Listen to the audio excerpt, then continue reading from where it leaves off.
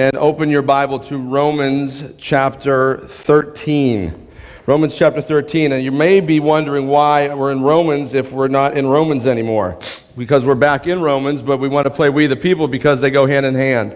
I told you way back when that when, we, when the Lord leads us to a book of the Bible, that I'm going to be faithful to that call and I'm going to just preach through that Bible, through that book, and I'm not going to dodge any issues. What's there is there, and if I want to run and hide, tough. That's just the way it is, okay? So when I tell you to open your Bible to Romans chapter 13, and our, we're going to start in verse 8, you may have marked down where we ended up and said, wait a minute, you're missing, you're skipping, and I'm not doing that. Okay, I'm not skipping. We ended in Romans 12, and we're going to go to Romans 13 starting in verse 1 next week because I do believe that that section 1 through 7 it goes hand in hand with chapter 14. So there's some really awesome stuff in there, but and I don't want to miss it. It's just I, I think that it just works well with chapter 14 where we'll go next week. Okay.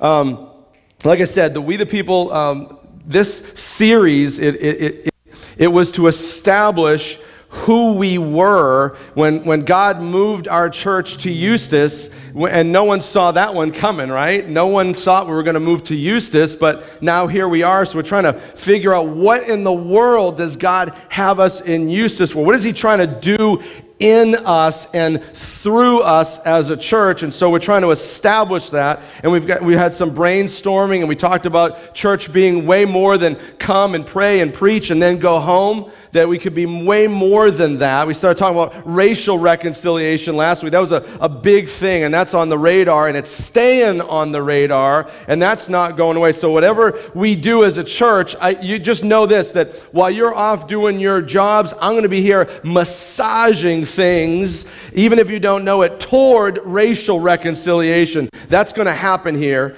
even if it offends. And that's okay. That's okay.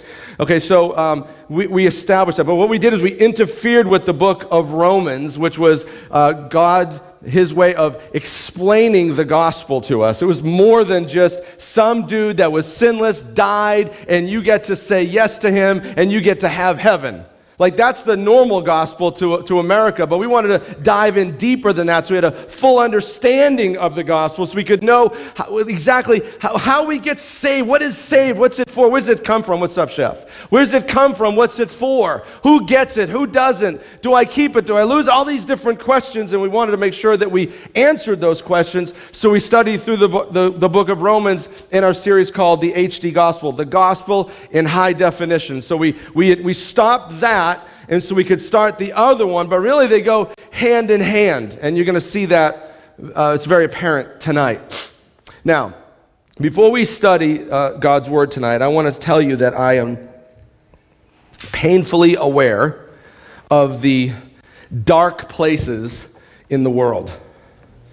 I'm painfully aware, even though I don't have television anymore, it doesn't make a difference because I have a phone, right? And so everything's there. I am painfully, as most of you are, aware of the dark places in our world. I'm talking about, you know, young girls in, in, in, in sex trafficking and, and AIDS are, are ravaging these communities in Africa and, and massive drug havens all over the world where kids are just being destroyed one after another by the dozens, by the hundreds, by the thousands. I understand all of that. And all of us really get that. And, and so what we do is we, we, using the gospel as our bullet, right? That's our silver bullet. We're going to fix the world with the gospel. And so we send people over to these dark, dark, dark places. And we send our money by the millions, and we pray before them, and we pray behind them, and some of us will even be the ones to go, and we bring the gospel. We think that the gospel is the fix it for everything, and I agree. But we like, you know what? There's sex trafficking. They need the gospel, right? We, we see it all the time. They, there, there's massive drug problems. They need the gospel. And I agree because it gives hope, it gives freedom. Jesus did something on the cross to set people free, and we know that. And so we resource these efforts to bring the gospel to the world because that's the fix it for all things. And I agree, but here's the thing, and I don't even really know what file to put this in, so maybe you can help me. But I feel like to even think that is, is, is kind of, and let me finish my statement before you throw something at me foolish or arrogant in, in, in this. The reason why I say that is because we think that that will fix everything, but yet we won't exercise or embrace that same gospel in our own little dark areas of our own life. It's the, it's the, it's the Christian who says, Well, yeah, yeah, I know, yeah, but. Yeah, I know that he or she is this, but gospel says this, but you don't know how bad he is. You don't know what he did to me. Listen, if we will resource by the millions these, these mission workers to go across the earth because there's sex trafficking. And if they could just embrace what Jesus did on the cross, it would shed light into this dark area. We believe that, right? We don't believe that same gospel will fix our marriage. What's up? And we need to do that. We, we need to send money overseas. We need to do that. I get it. But we need to let the gospel invade our dark areas before we can. Did you ever been on a plane? Who's been on a plane? What do they tell you about the oxygen mask? Right? Same principle applies. You can't put the oxygen mask on her if I haven't if, if, I'm if I can't breathe. I can't help her, right? And so it's the same thing. We need to make sure that the that the gospel will invade our dark spaces. I understand we're not living in sex trafficked neighborhoods. I understand that there's not crack pipes on our front step right now. I get that. There's no dead hookers on the step when I get here like some churches get in this country. I get it. But there's still dark areas, right, in our lives that the gospel, I hate to say it, is dying to invade. Jesus is dying to invade your dark areas, and I want to do that tonight. Okay? You guys with me? Let, us just talk, let's just start here. We're in a culture here in America of, of very much do, do, do to get, get, get. Okay, what I mean by that is we will work 40, 50 hours a week. We work, work, work, work, work. And because we work, work, work, we expect something, don't we? What do we expect?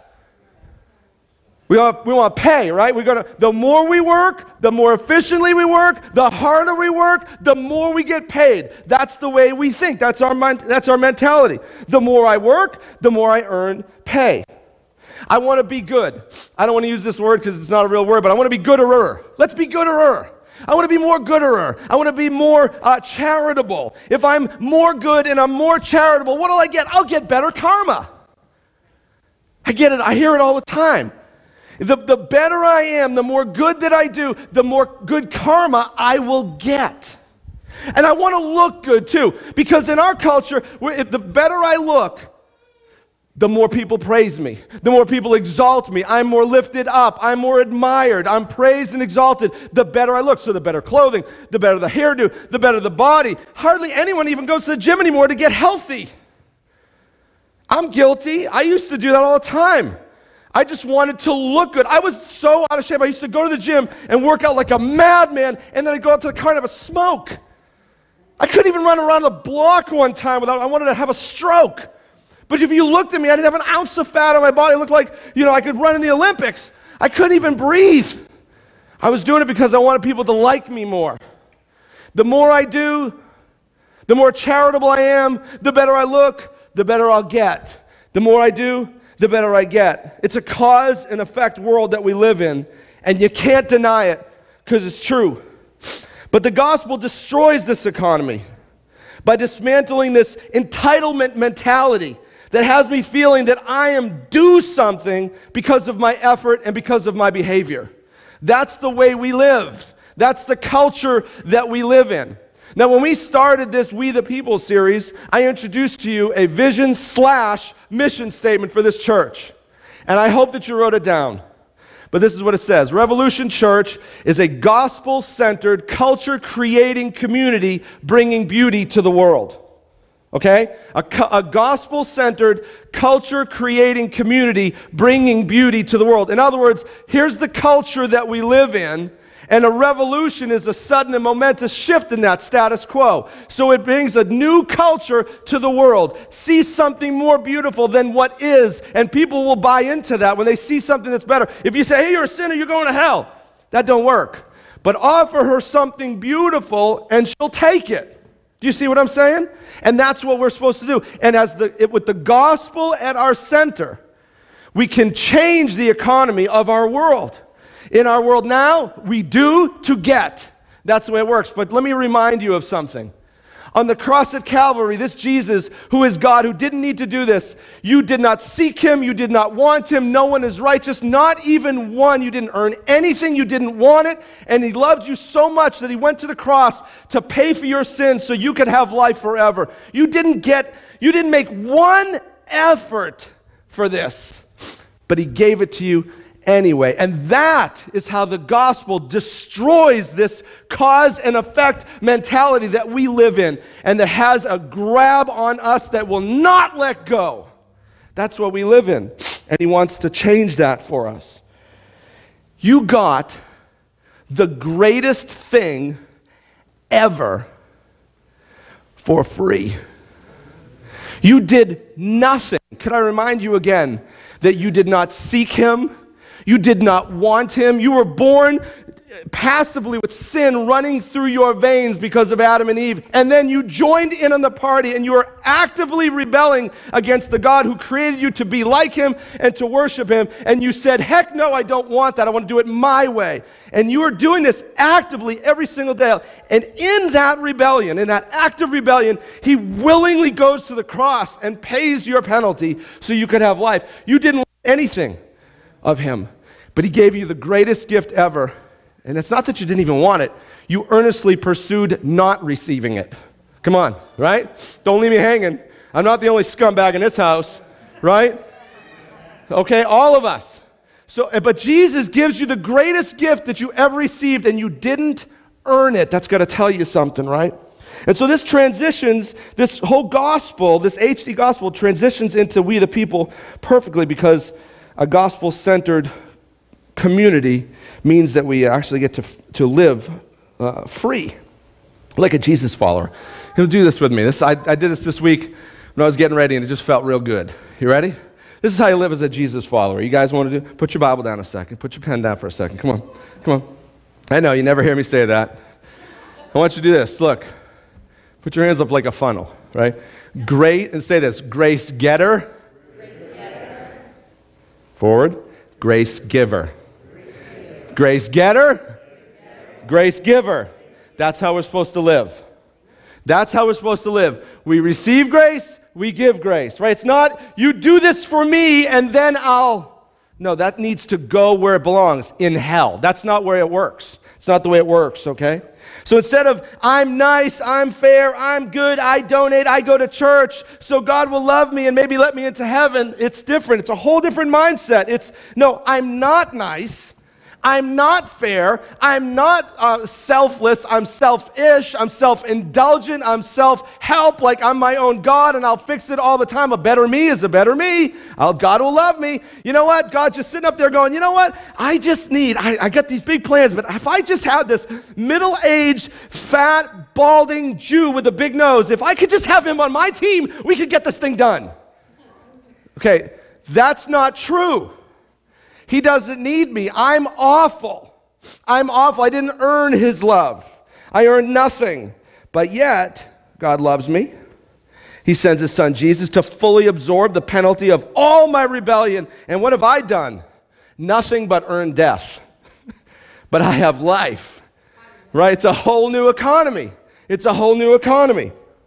So, now let's talk about how this mentality and I want to tell, I want to encourage this to you, okay? If you come into this church and you don't hear me share what I've shared with you about the gospel, that you earn nothing and want nothing but you got, if you ever come in and don't hear it from me, you need to email me. Because you should never get tired of hearing that, and you never ever should stop preaching that truth to yourself. Because it needs to invade the very dark areas of your day to day life, or else he dies for nothing. Okay? This is, this is how it invades a dark space. How many people in this room have ever had or have a boss they loathe? Come on. No one's ever, you never had a boss you didn't like? Okay? Listen, the camera's only on me, so no one's gonna see your hand go up online. You can be honest, right? Most of us at one point will have a boss that they cannot stand. I've had them. I don't have that privilege anymore. My boss is Jesus. I have no option but to love, right? If he says yes, he says jump. How high? There's no option, right? There's no option. If God says do something, you do it. But let's, let's, let's talk about how the gospel can invade this dark space. You don't like your boss. And you don't want to work hard for that man or that woman because they drive you crazy because you do all the work and they get all the pay, and you do all the work and they get all the glory. And they take weekends off while you're suffering at your job. Come on, right? All of us, we've all experienced this kind of stuff, right? And so we don't want to perform for him. So my boss, who's a complete jerk, now he can get my best. Now he can get my best. Not because I need his paycheck, not because I'm afraid I'm going to lose my job. Why? I start preaching the gospel to myself. Is it that I'm going to give him my best because he's good to me? Is it am I going to give him his, my best because he pays me? Or is it that I realize that in his flesh, this boss of mine, he is dirt just like I was when Jesus died for me? Right? Do you think about that when you're at work? Listen, I'm not saying we shouldn't be thinking about those starving kids in Africa, but think about this for you. See, Jesus said in, in, in Acts 1 8 that you will be my witnesses to the ends of the earth. He is going to be seen through you, and the way you act at work is going to show Jesus or going to repel people from him. One or the other. There's no, there's no in between, there's no neutral. So if you will act like Jesus at work and give your boss the best, not because of who your boss is, not because of the money he gives you, but because, the, because Jesus gave you everything when you acted like a creep, when you were totally rebellious, when you were a total jerk to him, he gave you the greatest gift. He gave you his best. And we remind ourselves of this constantly, and then all of a sudden, I can give the boss the best that I have. And so I need to remind myself all the time that because of this gospel, that God's love was bestowed on me, a man who did nothing to deserve it. and I got it anyway. And so, therefore, I can do it for this boss who's a jerk to me, right? I'm not saying that it's easy, but that's why you don't go to church once a week. That's why you go to church every day by preaching the gospel to yourself every single day. So you're reminded of this thing. So when you go to work and he's a total jerk to you, you can give him your best because we don't serve man, we work as unto the Lord. That's what we're supposed to be doing. That's what we're supposed to be doing.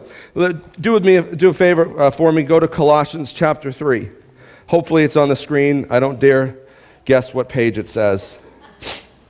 I already lost 200 bucks. No, I didn't. Jared. Yeah, I gave him a WEO.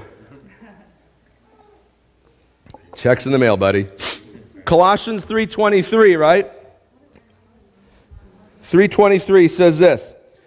Work, are y'all there? If you don't have a Bible, there's plenty of them all over the place, Paul. Yeah, no, that's hers. There you go, buddy. You have it memorized, chef? I didn't think so. Here you go. Come on. Good. Don't drop God. That'll be bad. A Jew threw it, or did you throw it? Hey. Okay, you ready? Work willingly at whatever you do as though you were working for the Lord rather than for people. Remember that the Lord will give, the Lord, not your boss, the, the Lord will give you an inheritance as your reward, and that the master you are serving is Christ. Right? Yeah, but I can already sense the yeah, buts, right? I've had them. Yeah, but what about my boss? You have no idea how much of a creep he or she is. You think you guys got it bad. You should come to work where I am. We could go back and forth and we could argue about who has the worst boss. You own the company. You're the worst to work for. Listen, yeah, but, yeah, but, yeah, but. This, this is the great American Christian quote. Yeah, but. Like the gospel can invade an, an, an AIDS ravished village with no plumbing and no water, right, and no hope. It can change that, but it can't change my boss. It can't change my workplace here. You have no idea how bad it is. Well, I want to invite you to see something here. I, I kind of, on purpose, I left it out. Look at verse 22, the verse before it. Who, who is this even written to? Is it someone with a bad job? It's to a slave. It's to a slave. It's to a man or a woman that doesn't get any income, who is forced to work and, and, and sometimes die in the field to receive nothing except maybe something to eat and a place to sleep, which was probably a pile of straw. And again in Ephesians 6, 5 through 7, same thing. Paul says the same thing to both churches. Why? Because it's common. We have a bad attitude. We think that we have this entitlement mentality here in America. I do this, I get this. And the only way I'm going to do this is if you're good to me. And it's not supposed to be that way. See, Jesus came to change that, give us a new mindset. We preach the gospel to ourselves. I earned nothing. I wanted nothing. I didn't deserve anything, and He gave me the best. And so, therefore, now I can give my best even when they don't deserve anything good. And He says it to a slave. Who's got it as bad as a slave in here? No one. No one. If you have a job, your pay might suck, but you get something. You get something, oh, I can't work for $9 an hour. How about a slave? He says to the slave who's, who's hated by the world, looked down on, shunned, they're like not even a human being to some people. They get no money, they live in, in feces. And he says, Listen, I want to shine light even into that darkness. You can live in slavery to man, yet free. You can be free because when you don't, when your work ethic and your attitude is not uh, is not established according to what that person is doing to you, your boss. When it's established because the gospel has set you free, it doesn't matter what they do to you. I'm free. I'm free. You know what I'm saying? I'm free. And it doesn't matter how rotten he is to me. I'm going to give him my best. He could spit on my face, I'll give him my best. And then I'll tell him why. You, you- listen, when a boss is a creep, he, he knows you. I've been a boss. And I know when I'm a creep to someone, they're going to be a creep back to me. You can't look at a full blooded American man and think you're going to get away with anything. You say something, he's up in your grill, right? All the time. But listen, when, when you don't act the way they expect you to act, you've got their attention. And then you could share the gospel, the fact that you wanted nothing to do with him. You earned nothing. You were not seeking him, and he gave you the greatest gift you ever received, not on your own merit, but on his. You can share that gospel with him, and that might just change his life. And so we carry it even further. 1 Corinthians 10:31 says, whether you eat or drink or whatever you do, say whatever you do.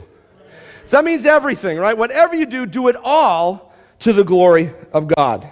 Okay. So the gospel can invade the dark space at work. Let's just see where the gospel can invade here in another place. The gospel can also invade your marriage. Now, the one thing I didn't do, and I think Mark probably had it queued up. Do you have that video queued up? I do. Okay. I want to introduce something to you. Since our church started, we're a, we're a new church. We're still, we're only about three and a half years old, right? We're a baby. In that short time, and this is not some 10,000 person church where you just get lost in a crowd. We all know each other.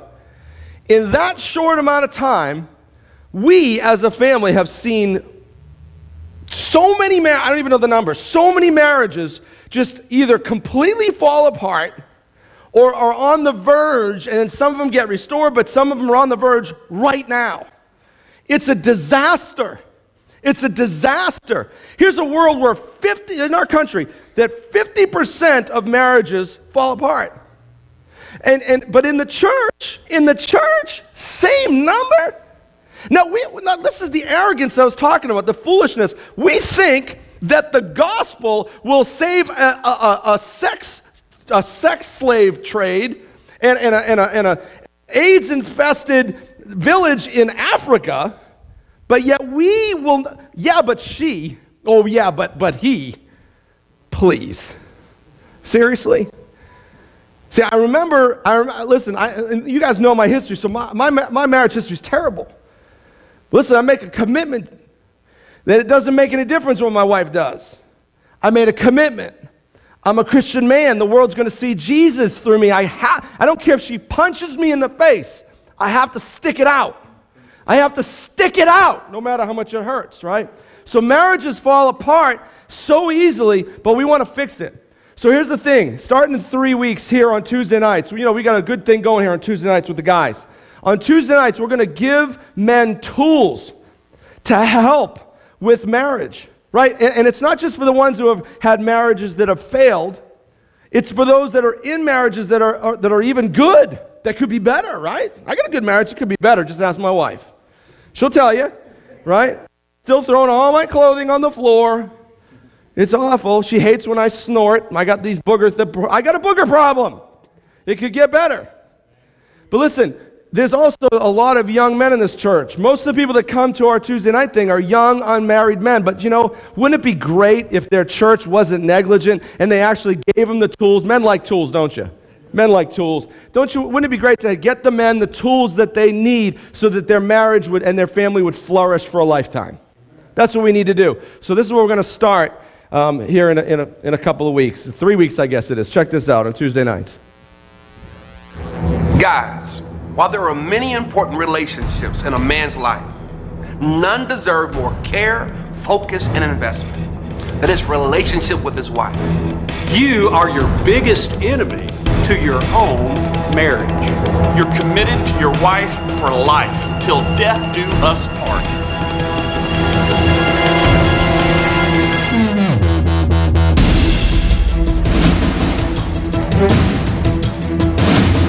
Marriage, easier said than done, but everybody's doing it, pursuing it, no understanding, standing under the weight of what this really means, so they ruin it. There's a bigger purpose for marriage. And a grander vision of what it can be. Become a lifelong student of your wife. Learn her tendencies, her unique needs, her aspirations. A man's marriage is meant to be and can be an incredible source of energy, joy, and intimacy. ultimate purpose for marriage is not human happiness. The ultimate purpose of marriage is holiness. The purpose of marriage? I don't know. I don't know. Uh, It doesn't matter what you do, it matters about what she thinks. the person that I just had sex with is not mine. She just lied. You're gonna die to yourself so that she can flourish. Yeah, that's what I'm talking about. That's what we're going to start in three weeks. And listen, now the reason why I want to announce it uh, in our gathering and not just on a Tuesday night is because this is the opportunity for the ladies to gut check him right now and make him get up and see Mark before he leaves because Mark's like our resident 33 guy. And so we're going to take book orders. There's a study guide that goes with this thing. And so now's your chance. Go ahead, just punch him and make him go. Because if you leave it up to a man, they won't go because we're lazy and we think we got it all figured out. So now's your chance to gut check your husband and make sure, look at them kissing. No, you don't need to go. I don't need to go, do I, honey? No, you're perfect. Right? you're perfect. So listen, if you would like to be a part of that thing and so that your family can flourish, please see Mark. I, I don't know if, what your plans are, but just for a few minutes before you leave, if you want to order the book, I think they're like 15 bucks. It's a worthwhile investment. If you love your wife, you love your kids, you love your church, you love your city, you love your Jesus, I would say go ahead and invest in the 15 bucks for the book, okay? Let's move on. So let's talk about this thing about marriage here in, in this context here with everybody. The gospel can change my marriage this way. How about this? Um, who's ever bought a car? Who's ever gone to a dealership and bought a car? Okay? So you go to the car dealership and, and you go in and you and, and you and you pick the, the, the model and the color and the features, and it's got to have this motor and it's got to have this and it's got to have that. And don't forget, it has to have a guarantee and a warranty because if it doesn't perform the way I want it to, do you, you see where I'm going? Oh, yeah. If it doesn't perform the way I want it to, I could get my money back. That's what marriage is now in our country. See, see that's what happens. And, and, and, how about this? How about, could the gospel invade your marriage this way? Wouldn't it be refreshing? Could you, now I'm a man, so I'm going to talk about my wife. Could, would, my, would my wife flourish as a, as a, as a person, right? If, if she didn't have to any, any longer earn my love or earn my respect or earn my affections. If, if, if, listen, listen, here's another the gospel invades. If, J, if Jesus lays down his life for me when I was an enemy of God, right? That's what the scriptures say. I'm an enemy of God because there are evil thoughts and actions. I'm, I'm not within the family yet. And he lays down his life for me while I was a sinner, when I was terrible, right? If he'll do that for me, maybe I could maybe preach that to myself once in a while and maybe give that to my wife the way Jesus gave it to me. That, that, like, listen, I didn't earn Jesus' love. I didn't earn his respect. I didn't earn his, his affections. Why? He was freely given to me, not on my performance. So imagine the freedom that you give mama when she doesn't have to try to earn your affection or love anymore. She can truly flourish. It has nothing to do with her, it has everything to do with him, right? And so if you can pass that same love that he gave to you onto her, it makes it so much easier when you get to sections of the scripture where it says, like in Ephesians 5, lay down your life for your wife. Love your wife as Christ loved the church and laid his life down for her. And you're like, oh, kind of like the way you did for me. Oh. So maybe I can do that for her. Maybe she doesn't have to be like a car that if it does, if she doesn't do the laundry the way I like, it, if she doesn't look the way I think she should look, if she doesn't say the things that I think she should say, if she doesn't cook for me and clean for me and do it the way I want, my house isn't the way I like it when I get home. Whatever, dude, you're lucky she's there. There's no superstar model guys in here, okay? If you even have a chick, you're lucky. Come on now. Kyle ain't here no more, you know what I'm saying? He's the only one that might get away with it. Pretty boy ain't in the house no more, Jared. We could pick on him freely. Woo! He'll be back next week. Don't tell him I said this. Listen, how much can you flourish? Can your wife flourish when she doesn't have to try to earn your love? Could, could the husband flourish when he doesn't have to try to earn your love and your affection? You just freely give it to him because that's what Jesus gave to you when you didn't earn it? Man, it's a whole new way of thinking, isn't it? It's awesome. It's awesome. And listen, I got to give you some other advice, guys. This came to me late, but it's true. If we're to love like Jesus loved the church, then you need to lay your life down for your wife, even if she doesn't accept it, even if she spits in your face when you do it. That's real love. See, Jesus went to the cross, and, and, and the Bible says that the, that, the, that the highway to hell is wide, and the narrow road, very few people ever find that road. Right? He knew when he went to that cross, when he was stretched and whipped and beaten and killed, he knew most people aren't even going to say yes to him. And he still lays down his life willingly for you. And so we can now do that for our wives. We can love our wife like Christ loved the church when we realize that he loved me that way. And so this is a gospel centered mentality that we have to have. This is a gospel centered mentality that brings a beautiful new way of living to the world. See, the gospel frees you to live as God intended, not being run by rules, not being run by restriction, not being run by reciprocal behavior. You do this for me, and I'll do this for you. And the only way I'm going to do this for you is if you'll do this for me. If you're a really good wife, the way I think you should be, then I'll be a good husband to you. Please. That's not the way it works. That's not the way it works. See, I think, I think I wasn't at everybody's wedding here, but I think you made some commitments about for better or worse. So when she's at your worst, husband, what are you supposed to be? Your best. When, and, and husbands, when you're at your worst, mama, what are you supposed to be? Your best. And see, when we both do that and, and, our, and our decisions on how we should act are outside of what our spouse does, there's peace. There's tranquility, there's cooperation, there's love, and there's success. There's success, and that's what we're looking for. We're looking for success. We're not to live by this reciprocal thing where if you do this for me, I do this for you. If my car performs the way I want it to, then it doesn't work that way. See, it's a, it's a bit more romantic than that. It's a bit more romantic than that. See, God didn't see who you were and what you did and go, oh, he's just, she's just so awesome, and so I'll love her. No, you suck. I mean, let's just face it, right? And, and, and, so, so it's like, no, when the Bible says that love covers a multitude of sin, yeah, you're a, a, a, just a raging sinner. And, but, but God goes to the cross and he lays love over your sin, right? And so, therefore, if we're to be like Christ, then that same principle applies in my life because God's love covered a multitude of my sin.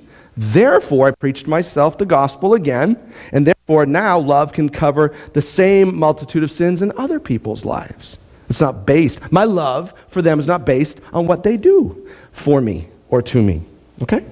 So, the gospel offers a better way of living, I hope. At least in those two areas, let's talk about some other dark areas, okay? We finally get to our text. You in uh, Romans 13? Mm-hmm.